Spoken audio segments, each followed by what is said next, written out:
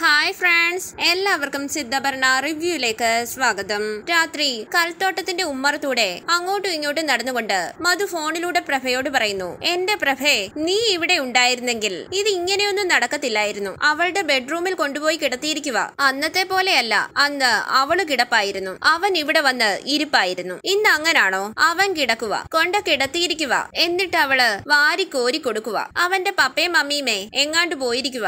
ആരുമില്ലാത്ത സമയം നോക്കി വന്നതാ. അവന്റെ ബർത്ത്ഡേ ആണ്. ആഘോഷിക്കാൻ ഇറങ്ങിയതായിരിക്കും. അവളുടെ സ്കൂട്ടറിലെ അവൻ ഓഫ് റോഡ് പോയിരിക്കുന്നു. അവന് വേറെ വല്ല വണ്ടി ഇല്ലാഞ്ഞിട്ടാണോ? എന്നിട്ട് പോയി അങ്ങ് വീണിരിക്കുന്നു. ഈ സമയത്ത് കാറിന്റെ ഹോണടി കേട്ട് മധു പറയുന്നു ദേ വരുന്നുണ്ട്. ഭാവനയും സംഘവും വരുന്നുണ്ട്. അങ്ങനെ മധു ഫോൺ കട്ട് ചെയ്യുന്നു. മേഡം എന്നും പറഞ്ഞ് ചിരിച്ചുകൊണ്ട് അവരെ കാത്തു നിൽക്കുകയാണ് മധു. ആമിയും ആനന്ദവും കാഞ്ചുവും ഉമ്മറത്തേക്ക് വരുന്നു. കാറിൽ നിന്നിറങ്ങിയ ഭാവന ദേഷ്യത്തോടു കൂടി സുന്ദരത്തോട് പറയുന്നു ചെല്ലു കൊച്ച. ചെന്ന് വിളിച്ചോണ്ട് വാ അവനെ. മധു ഭാവനയുടെ അരികിലേക്ക് വന്നിട്ട് പറയുന്നു മേഡം കേറി വാ മേഡം. അതെ സിദ്ധു സാർ ഞങ്ങളുടെ അപർണ മോളുടെ മുറിയിലാ. ഡിന്നർ കഴിച്ചോണ്ടിരിക്കുക അകത്ത് വന്ന് ആ കാഴ്ചയൊന്ന് കണ്ടാട്ടെ. ഭാവന പറയുന്നു നാണകെട്ട ഈ കുടുംബത്തിന്റെ പടി ചവിട്ടില്ല ഞാൻ. പോയി വിളിച്ചോണ്ട് വാ കൊച്ച. സുന്ദരം പറയുന്നു നമുക്ക് പോയി വെയിറ്റ് ചെയ്യാം. മധു പോയി വിളിച്ചോണ്ട് വരും. മധു പറയുന്നു ഏയ് അതൊന്നും പറ്റത്തില്ല. ഇത് കേട്ട് ഭാവന പറയുകയാണ് അതൊന്നും വേണ്ട കൊച്ച. കൊച്ച പോയി വിളിച്ചോണ്ട് വന്നാ മതി. വാ സാറേന്നും പറഞ്ഞ് സുന്ദരത്തെയും കൂട്ടിക്കൊണ്ട് മധു അകത്തേക്ക് പോകുന്നു. ആമിയെയും കാഞ്ചുവിനെയും ആനന്ദത്തെയും കാണിച്ച് മധു പറയുന്നു സാറേ ഇവരെയൊക്കെ നമുക്ക് പിന്നെ പരിചയപ്പെടാം. സാറ് വന്നാട്ടെ. ഈ സമയത്ത്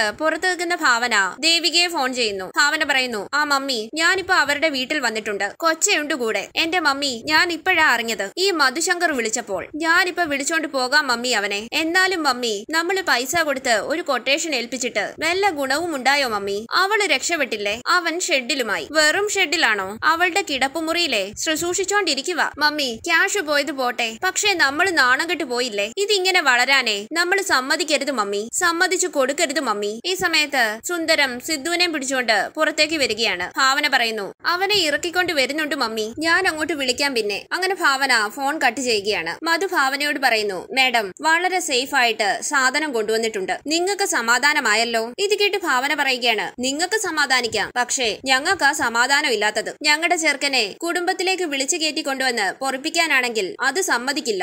അതിന് വെച്ച് വെള്ളം അങ്ങ് വാങ്ങി വെച്ചിരുന്നാ മതി. നാണം കെട്ട പെണ്ണുങ്ങൾ ഇത് കേട്ട് സിദ്ധു ചോദിക്കുന്നു ചേട്ടത്തി എന്ത് വൃത്തികേടായി പറയുന്നത്? ഉടനെ ഭാവന പറയുകയാണ് എന്ത് വൃത്തികേട് നിനക്ക് കാണിക്കാ അല്ലേടാ? കേറടാ അങ്ങോട്ട്. പോ കേറ് കൊച്ച അങ്ങോട്ട്. അങ്ങനെ സിദ്ധുവിനെയും സുന്ദരത്തെയും കാറിൽ കയറ്റുകയാണ് ഭാവന. ഭാവന ആമിയോട് പറയുന്നു വശീകരിക്കാൻ നടക്കുക നാണമില്ലേടി നിനക്കൊക്കെ? ഇതെല്ലാം കേട്ട് വിഷമത്തോടു കൂടി നിൽക്കുകയാണ് ആമി. ഭാവനയും കാറിൽ കയറി അവരവിടെ നിന്ന് പോകുന്നു. ഇതെല്ലാം ബാൽക്കണിയിൽ നിന്ന് കാണുകയാണ് ബാലു. ഭാവന പറയുന്നതെല്ലാം കേട്ട് വിഷമത്തോടു കൂടി സിദ്ധുവിന്റെ കാർ പോകുന്നത് കണ്ട് ജനലിന്റെ അരികിൽ നിൽക്കുകയാണ് അപ്പു ബാലു വിഷമത്തോടു കൂടി ഓർക്കുന്നു. ഹിൽ ടോപ്പിൽ വെച്ച് അപ്പു കണ്ടുകെട്ടി ഡാൻസ് ചെയ്തത്. കല്ലിൽ തട്ടി അപ്പു താഴേക്ക് വീഴാൻ തുടങ്ങിയത്. ബാലു ബാലു എന്ന് വിളിച്ച് അപ്പു ഹിൽ ടോപ്പിൽ കൂടെ അങ്ങോട്ടും ഇങ്ങോട്ടും നടന്നത്. ബാലുവിനെ അന്വേഷിച്ച് പോലീസ് സ്റ്റേഷനിൽ നിന്നും ഇറങ്ങി ഓടിയത്. അപ്പു തല കറങ്ങി വീണതും സിദ്ധു വന്ന് അപ്പുവിനെ എടുത്തോണ്ട് പോയതും തുടർന്ന് അപ്പു താമസിക്കുന്ന സ്ഥലത്ത് സിദ്ധു കൊണ്ടുവിട്ടതും ഇതെല്ലാം ഓർത്ത് വിഷമത്തോടു കൂടി ഇരിക്കുന്ന ബാലുവിന്റെ അരികിലേക്ക് റിയ വരുന്നു. റിയ പറയുന്നു ബാലു അവർ പോയി. ഇനി അവിടെ നോക്കിയിരുന്നിട്ട് ഒരു കാര്യവുമില്ല. അങ്ങനെ റിയ ബാലുവിന്റെ അരികിലേക്ക് ഇരുന്നിട്ട് പറയുന്നു ബാലു അവളുടെ മനസ്സിന്ന് നീ പോയി. അല്ലെങ്കിൽ ഇങ്ങനത്തെ സീൻ വല്ലതും ഉണ്ടാകുമോ? അവളുടെ മുറിയുന്ന ബന്ധുക്കൾ എല്ലാരും കൂടി പിടിച്ചോണ്ട് പോയത്. നീ ഇനി അങ്ങോട്ട് നോക്കി ഇരുന്നിട്ടൊന്നും ഒരു കാര്യവുമില്ല. ഇത് കേട്ട് ദേഷ്യത്തോടു കൂടി ബാലു പറയുകയാണ് നിനക്ക് നോക്കിയിരിക്കാനേ തന്തയും തള്ളയൊന്നും ഇല്ലായിരിക്കും. അതേപോലത്തവനല്ല ഞാൻ. മനസ്സിലായോടി? അങ്ങനെ ബാലു അകത്തേക്ക് പോകുന്നു. റിയ ബാലുവിന്റെ അരികിലേക്ക് ചെന്നിട്ട് പറയുന്നു ബാലു നീ ഇപ്പൊ പറഞ്ഞല്ലോ കാത്തിരിക്കാൻ എനിക്കാരുമില്ല. നിനക്കുണ്ടെന്ന്. പക്ഷേ അത് തെറ്റാ ബാലു. എന്നെ കാത്തിരിക്കാൻ എന്റെ മോനുണ്ട്. അവനെ കാത്തിരിക്കാൻ ഞാനുണ്ട്. ബാലു പറയുന്നു നീ ഇങ്ങനെ പല കാര്യങ്ങളും പല തവണ പല രീതിയിൽ പറഞ്ഞിട്ടുണ്ട്. അതുകൊണ്ട് നീ ഈ പറയുന്നതൊന്നുമേ ഞാൻ വിശ്വസിക്കത്തൊന്നുമില്ല. അല്ലെങ്കിൽ നീ കൊണ്ട കാണിക്കടി നിന്റെ കുഞ്ഞിനെ. ഇനി അങ്ങനെ ഒരു കുഞ്ഞുണ്ടെങ്കിലേ അതിനൊരു തന്ത കാണത്തില്ലേ? തന്ത അയാളെ ഇങ്ങോട്ട് വിളിച്ചോണ്ട് വാ. എന്നെ ഈ ഗതികേടിയിൽ നിന്ന് രക്ഷപ്പെടുത്തിത്താ. എന്നിട്ട് നീയും നിന്റെ കുഞ്ഞും നിന്റെ മറ്റവനും കൂടി എവിടെയെങ്കിലും പോയി ജീവിക്ക്. എന്നെ എങ്ങനെയെങ്കിലും ഒന്ന് രക്ഷപ്പെടുത്തി താടി. പ്രിയ പറയുന്നു ഞാൻ പ്രസവിച്ച എന്റെ കുഞ്ഞിനു വേണ്ടി കാത്തിരിക്കാൻ അവന്റെ അമ്മ മാത്രമേ ഉള്ളൂ. അച്ഛൻ ആരാണെന്ന് നീ അന്വേഷിക്കേണ്ട കാര്യമില്ല ബാലു. ബാലു പറയുന്നു അന്വേഷിച്ചാലും നിനക്കൊരു ഉത്തരം ഒന്നും കാണത്തില്ല. അല്ലെങ്കിൽ ഇതിനു വേണ്ടി നിനക്കൊരുത്തിനെ കണ്ടുപിടിക്കാൻ പറ്റാത്തത് കൊണ്ടായിരിക്കും ഇത് കേട്ട് ദേഷ്യത്തോടു കൂടി റിയ പറയുന്നു ബാലു ഇതിനെനിക്ക് മറുപടി പറയാൻ പറ്റാത്തത് കൊണ്ടല്ല പഴയതൊക്കെ ചികഞ്ഞ് പുറത്തിടാൻ ഞാൻ ആഗ്രഹിക്കുന്നില്ല. കാരണം ഇപ്പൊ നിന്റെ ഈ വീടിന്റെ മതിലിനപ്പുറത്ത് നിന്നെയും കൂട്ടി ഞാൻ വന്ന് താമസിക്കുന്നതും ഇങ്ങനെ ഒരു റിസ്ക് എടുക്കുന്നതും നിനക്ക് വേണ്ടി കൂടിയാ. നിന്റെ ആമിയുടെ മുന്നിൽ അവരുടെ മരിച്ചുപോയ മകന്റെ ബാലുവിന്റെ ഭാര്യയായിരുന്നു റിയ എന്ന് എനിക്ക് പറയേണ്ടി വരും. ഞാൻ പ്രസവിച്ച എന്റെ കുഞ്ഞിന്റെ യഥാർത്ഥ അച്ഛൻ അവരുടെ മകനായിരുന്നു എന്ന് എനിക്ക് പറയേണ്ടി വരും. ഇത് കേട്ട് ബാലു ചോദിക്കുന്നു നീ എന്ത് പാതകമായി പറയുന്നത്? ആർക്കെങ്കിലും ഉണ്ടായ കൊച്ചിന്റെ പിതൃത്വമൊന്നും ഞാൻ ഏറ്റെടുക്കാൻ പറ്റില്ല. പ്രിയ പറയുന്നു ബാലു ഈ മതിലിനപ്പുറത്തുള്ള കോടികൾ വിലമതിക്കുന്ന സ്വത്ത് നീ അനുഭവിക്കേണ്ടതല്ലേ? അത് നിന്റേതല്ലേ? പക്ഷേ നിനക്കത് അനുഭവിക്കാൻ പറ്റുന്നുണ്ടോ? ഇല്ലല്ലോ. ആ സ്വത്തിന് ഇനിയൊരു അവകാശിയുണ്ടെന്നും അത് ഞാൻ പ്രസവിച്ച ബാലുവിന്റെ കുഞ്ഞാണെന്നും ഞാൻ നിന്റെ ആമിയെ ബോധ്യപ്പെടുത്തും. ബാലു ബാക്കിയൊക്കെ നമ്മുടെ വഴിയേ വരും. അങ്ങനെ സ്നേഹത്തോടുകൂടി ബാലുവിന്റെ താടിയിൽ ഒന്ന് പിടിച്ചിട്ട് റിയ അകത്തേക്ക് പോകുന്നു. ബാലു സംശയത്തോടു കൂടി ഇരിക്കുന്നു. പിന്നീട് കാണിക്കുന്നത് ജോലിക്ക് പോകാനായി ഇറങ്ങുന്ന റിയയോട് ബാലു പറയുന്നു അപർണ ഓഫീസിൽ പോയി. ഇപ്പൊ ഇറങ്ങിയതേ ഉള്ളൂ. റിയ ചോദിക്കുന്നു കൂട്ടിക്കൊണ്ടു പോകാൻ ആരും വന്നില്ലേ? ഇത് കേട്ട് ദേഷ്യത്തോടുകൂടി ബാലു ചോദിക്കുകയാണ് നീ രാവിലെ തന്നെ അങ്ങോട്ട് ചൊറിയാൻ വേണ്ടി ഇറങ്ങിയിരിക്കുവാണല്ലേ? ഞാൻ ഇവിടെ അങ്ങ് സുഹിച്ച് മനസമാധാനത്തോടെ ഇരിക്കുകയാണെന്ന് അങ്ങോട്ട് വിചാരിക്കല്ലോ കേട്ടോ? റിയ പറയുന്നു ബാലു ഇനി അങ്ങോട്ട് നമുക്ക് കൂടി മനസമാധാനത്തോടെ ജീവിക്കാനല്ലേ? ഞാൻ നിന്റെ ആമിയുടെ വീട്ടിലേക്ക് കയറി ചെല്ലാൻ പോകുന്നത്? ഉടനെ ബാലു പറയുകയാണ്. പക്ഷെ നീ ചെന്ന് പറയാൻ പോകുന്ന ഒരു കാര്യം പോലും. ഇനി അങ്ങോട്ടുള്ള ജീവിതം മനസമാധാനം നഷ്ടപ്പെടുത്താൻ പോകുകയാണെന്നല്ലാതെ വേറൊരു ഗുണവും ഉണ്ടാകാൻ പോകുന്നില്ലല്ലോ. അപ്പോൾ റിയ പറയുകയാണ് ബാലു ഞാൻ നിന്നോട് ഇന്നലെ എല്ലാം പറഞ്ഞു കഴിഞ്ഞു. ഇനി അങ്ങോട്ട് എന്താ ചെയ്യാൻ പോകുന്നതെന്ന് നിനക്ക് മനസ്സിലായിട്ടുമുണ്ട്. ഇനി അങ്ങോട്ട് ഞാൻ പറയുന്നതനുസരിച്ച് നീ ജീവിച്ചാ മതി. ഇത് കേട്ട് ബാലു പറയുന്നു നിന്നെ അനുസരിച്ച് അനുസരിച്ച് ജീവിച്ച ഞാനിപ്പം ഈ ഇരിപ്പിരിക്കുന്നത് കല്യാണം മുടക്കാൻ വേണ്ടി നീ അന്ന് കെട്ടിയെടുത്ത ആ ദിവസം തന്നെ നിന്നെ എല്ലാവരുടെയും മുമ്പിൽ പിടിച്ചു നിർത്തിയിട്ടെ. ഒരു തീരുമാനം ഉണ്ടാക്കാൻ എനിക്ക് അന്ന് പറ്റുമായിരുന്നു. പ്രിയ ചോദിക്കുന്നു എന്നിട്ട് എന്താ മോൻ അത് ചെയ്യാതിരുന്നത്?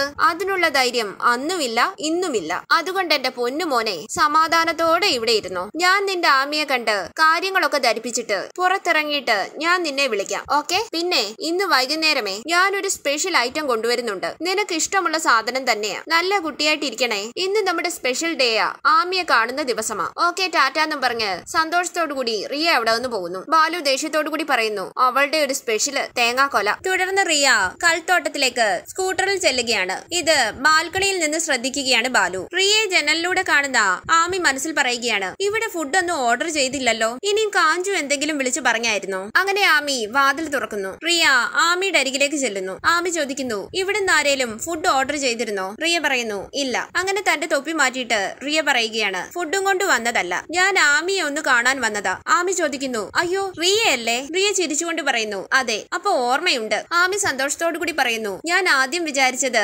ആൺകുട്ടികൾ ആരോ ആയിരിക്കുമെന്ന. പെൺകുട്ടികളെ ഇങ്ങനെ ഡെലിവറി ഗേളായിട്ട് കണ്ടിട്ടില്ലല്ലോ. എന്തു പറ്റി ഈ വേഷത്തിൽ? റിയ പറയുന്നു പല വേഷങ്ങളും കെട്ടിയാലല്ലേ ജീവിക്കാൻ പറ്റുള്ളൂ ആമി. ആമി പറയുന്നു എന്നാലും ഇത് ഭയങ്കര സർപ്രൈസ് ആയി പോയി കേട്ടോ. ഈ വേഷത്തിൽ ഈ വീട്ടിൽ ഇതെങ്ങനെ സംഭവിച്ചു? പ്രിയ പറയുന്നു നമ്മൾ നല്ല അയൽക്കാരായി കഴിഞ്ഞിരിക്കുന്നു ഇപ്പോൾ. ആമി സംശയത്തോടുകൂടി ചോദിക്കുന്നു അയൽക്കാരോ? ഉടനെ റിയ.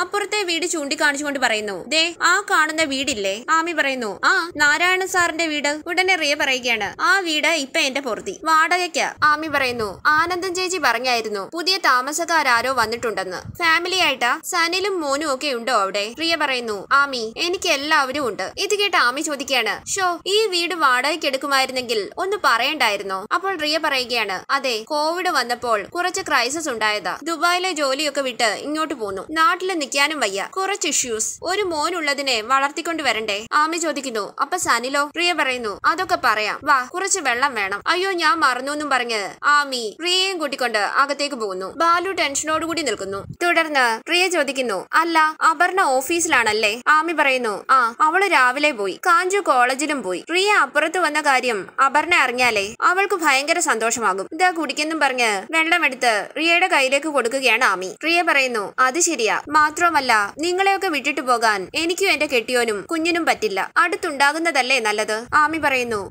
ബാലുമോനും സനലും ഭയങ്കര കൂട്ടുകാരാണെന്ന് അവൻ എപ്പോഴും പറയുമായിരുന്നു. സനലിനെ കൂടി വിളിച്ചോണ്ട് വരാഞ്ഞതെന്താ? റിയ പറയുന്നു അത് സമയമാകട്ടെ. ഈ സമയത്ത് അവിടേക്ക് വരുന്ന ആനന്ദം ചോദിക്കുന്നു അയ്യോ ഇതാരാ? ഫുഡ് എല്ലാം വിളിച്ചു പറഞ്ഞായിരുന്നു ആമി? ആമി പറയുന്നു ഇല്ല ഇത് റിയ. ചേച്ചി അപ്പുറത്തെ താമസക്കാരാരാണെന്ന് ചോദിച്ചില്ലേ? ഇത് pati. ആനന്ദം ചിരിച്ചുകൊണ്ട് പറയുന്നു ആ ഞാൻ കണ്ടായിരുന്നു സ്കൂട്ടർ എടുത്തോണ്ട് പോകുന്നത്. ഞാൻ കരുതി ആമ്പിള്ളേരായിരുന്നു അപ്പം ആണ് തന്നെ അല്ലയോ അതോ പെണ്ണാണോ? ആമി ചിരിച്ചുകൊണ്ട് പറയുന്നു ഇത് പെണ്ണ് തന്നെയാ. ബാലുവിന്റെ കൂട്ടുകാരൻ സനലിന്റെ വൈഫാ. ഒരു കുഞ്ഞുണ്ട് കേട്ടോ ഇവർക്ക്. ആനന്ദം പറയുന്നു ആ അപ്പൊ പഴയ പരിചയക്കാരാ നിങ്ങൾ. ഞാൻ കഴിഞ്ഞ ദിവസമേ ചീമപ്പുളി പറിക്കാനായിട്ട് ആ മതിലിനടുത്ത് നിന്ന് നോക്കിയപ്പോൾ മുകളിൽ ഒരാൾ നിൽക്കുന്നതായി കണ്ടതായിരുന്നു. ഇത് കേട്ട് ഒന്ന് പതറി റിയ ചോദിക്കുന്നു എവിടെ? ആനന്ദം പറയുന്നു നിങ്ങളുടെ വീടിന്റെ മോളിൽ. ഒത്തിരി നീളവും വണ്ണവും ഒക്കെയുള്ള ഒരാൾ ആമി ചോദിക്കുന്നു എന്നിട്ട് സംസാരിച്ചില്ലേ? അപ്പോൾ ആനന്ദം പറയുന്നു ഞാനേ ഞാൻ കൈ എടുത്ത് വീശി. പക്ഷേ ആൾ കണ്ടില്ലെന്ന് തോന്നുന്നു. അകത്തോട്ട് കയറിപ്പോയി. പ്രിയ പറയുന്നു